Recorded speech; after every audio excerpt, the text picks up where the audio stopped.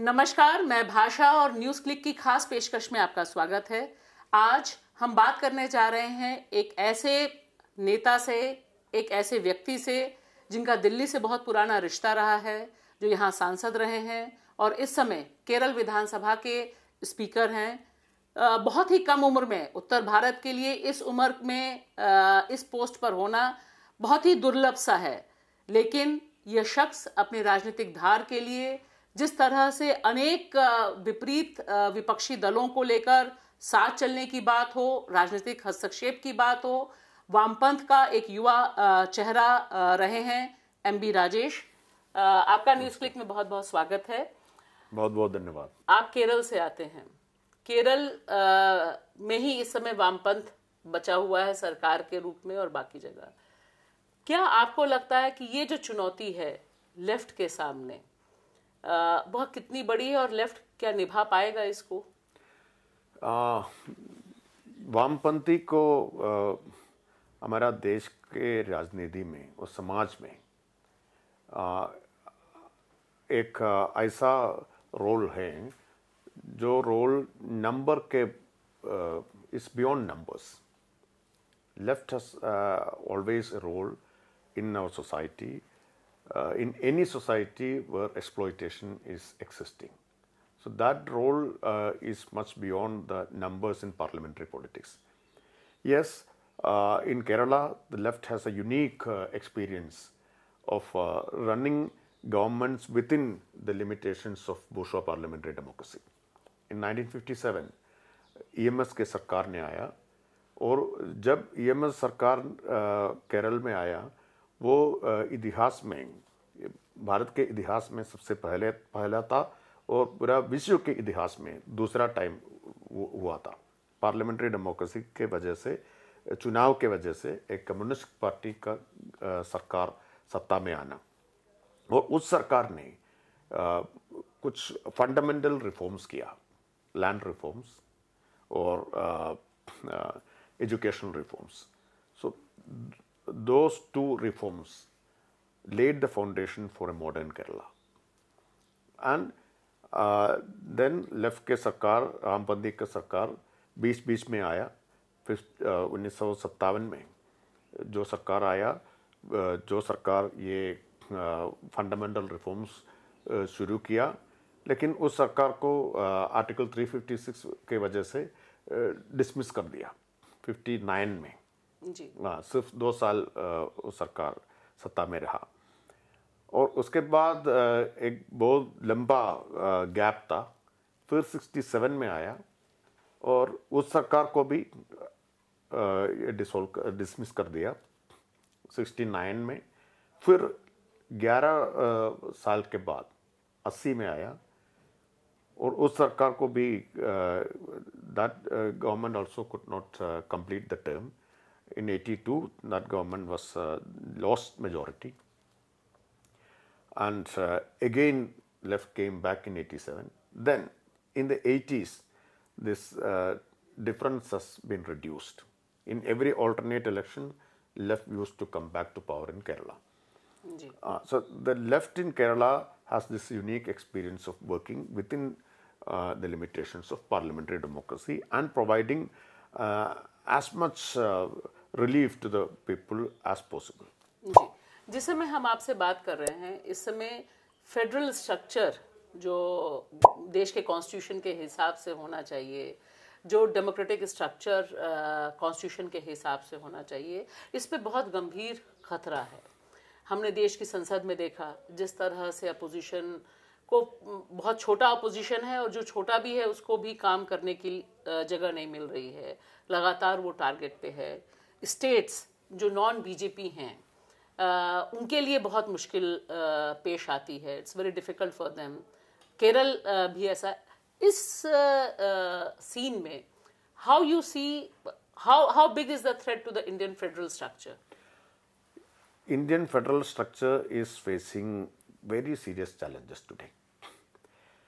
Uh, number one, the linguistic reorganization states, uh, reorganization of states. That principle, uh, we deviated from that principle and created many small states. मतलब जो भाषाई आधार पे Yeah. राज्य उसके बनने उस- थे हाँ। उस आधार को छोड़कर हमने दूसरे ढंग से राज्य बनाए वो ये अ, जो राज्य अ, बनाया वो बहुत अ, छोटा राज्य है वो छोटा राज्य अ, केंद्र से अधिक से अधिक डिपेंडेंट था डिपेंडेंट है अभी भी अभी भी डिपेंडेंट है अ, वो फेडरलिज्म के आधार ये होना चाहिए स्ट्रॉन्ग सेंटर और स्ट्रॉन्ग राज्य। लेकिन अभी राज्यों ने कमज़ोर हो गया। और आर्थिक जो जब हम आर्थिक बातों का, पर चर्चा करेंगे तो जीएसटी राज्यों के ये, जो इकोनॉमिक रिसोर्सेस हैं, उसको भी कमज़ोर कर दिया। अभी पूरा राज्य सरकार केंद्र से डिपेंडेंट हैं। जो जीएसटी का जो शेयर उसको मिलेगा उसके लिए they are completely dependent on central government now the state finance are in complete crisis now so all this has affected the political and economic capacities of state governments अभी uh, जो welfare schemes राज्य सरकार को लागू करना है तो ये रिसोर्स क्रंच हो रहा है और बहुत कम स्पेस मिल रहा है राज्य सरकारों को- सरकारों को राज्य सरकारों को अल्टरनेटिव पॉलिसीज़ हैं जो विकल्प नीतियाँ लागू करने में भी बहुत दिक्कत आ रहा है। जो सरकार ये विकल्प नीति कर रहा है within this structure now it's not possible the left is facing this problem in Kerala had faced this earlier also, but now this problem is acute because of the uh, en- uh, weakening of the federal structure. Weakening No, weakening of the federal structure. अ, आपसे अब सीधा सवाल केरल को लेकर केरल में अ, भाजपा को उस तरह से जगह नहीं मिली अ, विधानसभा में लोकसभा भी उसके लिए बहुत अ, मुश्किल रहा अ, इसकी क्या ठोस वजह आपको लगती है और दूसरा अ, इसी से जुड़ा हुआ सवाल जिस पे आप हस्तक्षेप करते रहे हैं, जो भाजपा के लिए एक बहुत, भाजपा और आरएसएस के लिए, क्योंकि आप जिस कॉन्स्टिट्युएंसी आप जहाँ रहते हैं, वो भाजपा और आरएसएस की बहुत पुरानी गढ़ के तौर पे रहा है, पालाकाट का पूरा इलाका। वहाँ पे जो मालाबार म्यूटनी रही है, वो एक बिल्कुल हिंदू मुसलमान करने में, का एक एजेंडा रहा है भाजपा आरएसएस के सामने। ये कितना बड़ा एक चैलेंज लेफ़्ट के लिए है कि वो मालाबार म्यूटनी जिसके सौ साल के बाद आ, सारी चीज़ें दोबारा शुरू हुई हैं। I will talk about it later before that Kerala society has deep secular roots its roots are very deep and the secular fabric is very strong Uh, and this is mainly because of uh, Kerala's uh, uh long tradition of uh, reformist and renaissance movements. So uh, these movements have sh- shaped the Kerala society, and the left class organizations have carried forward this legacy of reformist and Renaissance movements, social reformation and Renaissance movements. So there was a continuity of class politics of this uh, re- Renaissance movement. Unlike in Tamil Nadu and Maharashtra, uh, those states which had equally important uh, this reformist and Renaissance uh, traditions, but there was no continuity of uh, uh, class politics. Here in Kerala, people like the great stalwarts like Sri Narayana Guru, uh, Ayangali, Chattambi Swamigal, they were all great leaders of social reformation. So their legacy was carried forward through peasant struggles and uh, worker struggles, uh, then the left movement. So there was a uh, uh, see uh, perfect uh, balance between social and economic justice, the movement for social and economic justice. But in many other parts of the country, though there were this tradition of social reformation movement, that was not uh, uh, developed for economic movements for economic justice. इसी संदर्भ में अब मैं आपसे पूछूँगी क्योंकि मालाबार माल- mutiny को सौ साल हुए। इक्कीस में सौ साल पूरे हो गए। अठारह सौ इक्कीस में उन्नीस सौ इक्कीस में उन्नीस सौ इक्कीस में हुआ था। और ये ठीक वही समय था जब पूरे देश में किसानों का आंदोलन और खासतौर से गरीब किसानों का आंदोलन जमींदारों के खिलाफ अंग्रेज़ों के खिलाफ चला। हमने चौरी चौरा कांड देखा है। हाँ, हमने चौरी चौरा कांड देखा है तेभागा आंदोलन। ये सारी एक ही कड़ी है जो पूरे देश में अलग अलग ढूंढ और उस समय नॉन कॉपरेशन मूवमेंट था। इसको किस तरह से एक एजेंडे में तब्दील करने की कोशिश उस समय से अभी तक भाजपा कर रही है? उस समय का मलबा ब्रिटिश इंडिया का it was part of British India और it was part of Malabar presidency sorry Madras Madras presidency and जो। किसान हैं मलबार uh, के इलाके के किसान uh, दोनों तरह ये एक्सप्लोइटेशन फेस uh, कर रहा था।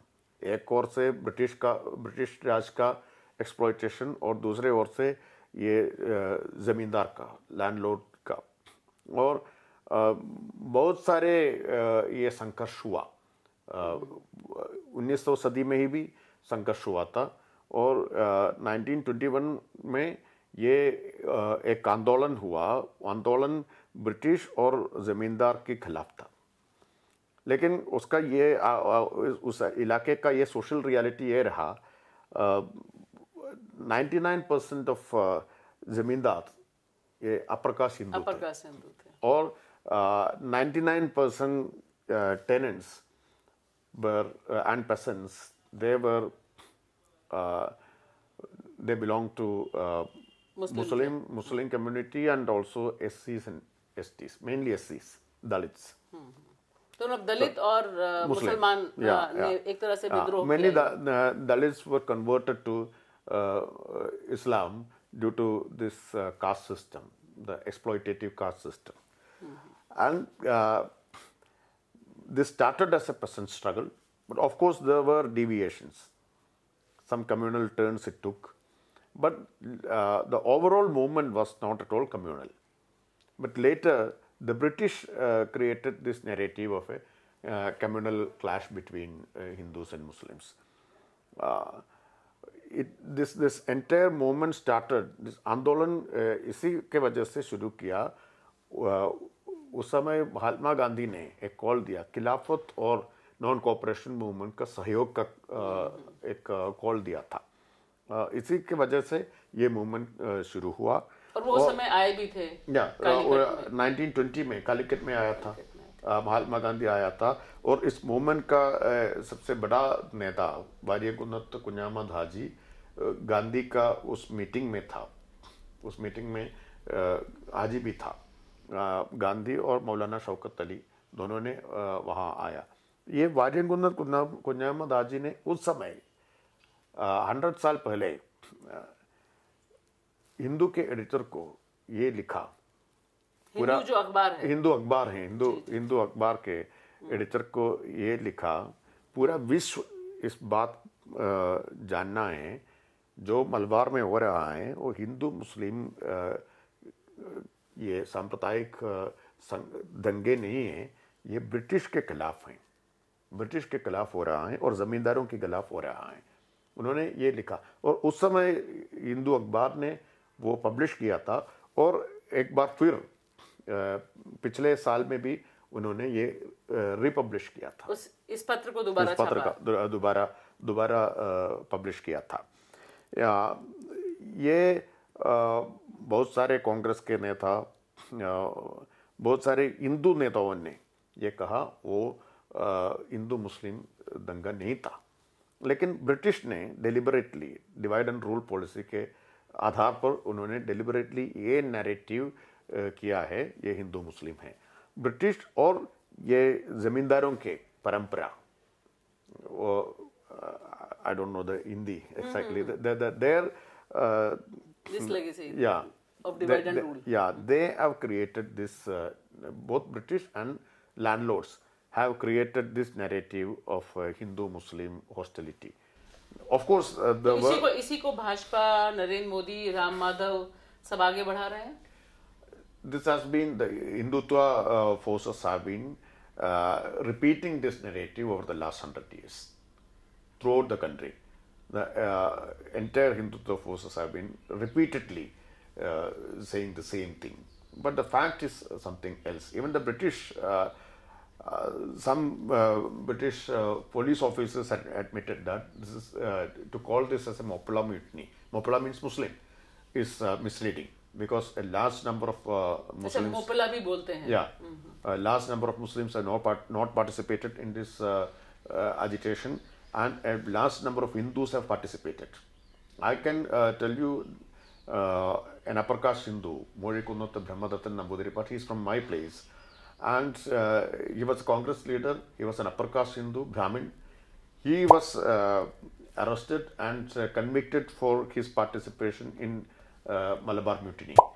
Because it was against uh, landlords, it was against the British, and all the leaders were tried and executed uh, for waging war against the British king, for wa- waging war against the British government. So, how can you uh, uh, interpret that a war against British government is not part of uh, freedom struggle? How can you interpret that it is लेकिन a अभी तो सरकार ने काफ़ी लोगों के नाम हटा दिए हैं Yes, names have been removed from the dictionary of uh, uh, martyrs of freedom struggle.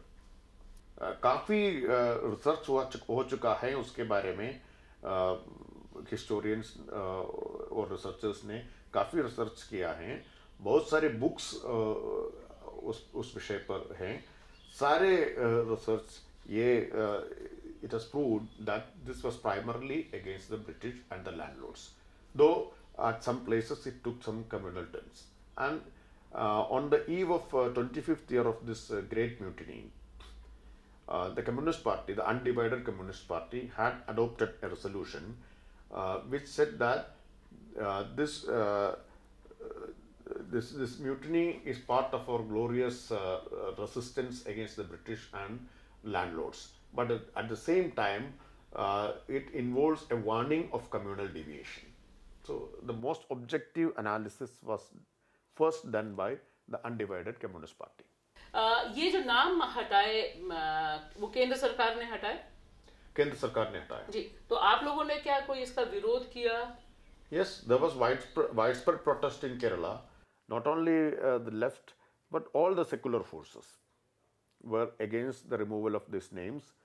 Uh, even 94 uh, people who have been uh, killed, who have been uh, put into a wagon, uh, rail wagon, जो wagon tragedy हाँ wagon tragedy के ये वो school text book में भी है wagon tragedy के नाते जो लोग पकड़े गए थे मालाबार म्यूटनी में उनको वैगन में डालकर डालकर कोयम्बतूर कोयम्बतूर जेल में। डालने के लिए उसको भेजा। लेकिन इन बिटवीन उसमें ये ऑक्सीजन नहीं था। ऑक्सीजन नहीं था। और 94 उसमें हिंदू भी हैं। तो सिर्फ़ मुसलमान नहीं है हिंदू भी हैं। ये सारे लोग ये मलबार म्यूटनी का कन्विक्ट हैं। वहाँ। 94 people were died. So even their names have been removed. जो लोग वैगन ट्रेजेडी में थे हाँ। उनका भी नाम हटा दिया गया है। Those hindus. अच्छा तो उसमें जो हिंदू थे उनके भी नाम हट गए हैं। Yes. जी। तो वापस मैं अपने मुख्य सवाल पर आती हूँ।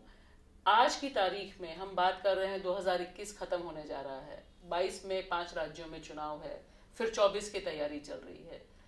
आज की तारीख में आपको बतौर एक पॉलिटिकल एक्टिविस्ट बतौर एक कॉन्स्टिट्यूशनल पोस्ट पे बैठे हुए व्यक्ति के तौर पे बतौर इंडियन सिटीजन कितना बड़ा थ्रेट लगता है इंडियन डेमोक्रेसी के लिए?